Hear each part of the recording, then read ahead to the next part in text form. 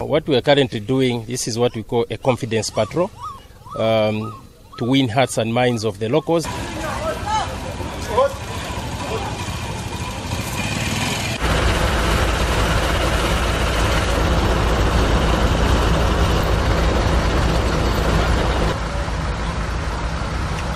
Pour le militaire, on doit savoir euh, ce qui doit se passer entre autres.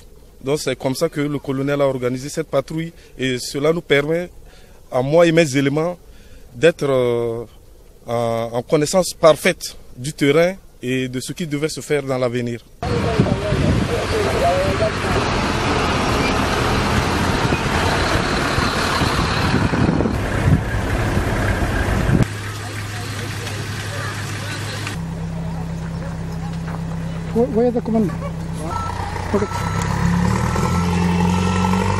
C'est une bonne chose pour la population. C'est depuis qu'on est en train de, de déplorer, de plairer au gouvernement de nous envoyer les FACA pour euh, la sécurité de notre ville. Et effectivement, le gouvernement a, écouté notre doléance et il nous a envoyé les FACA. C'est une bonne chose pour nous.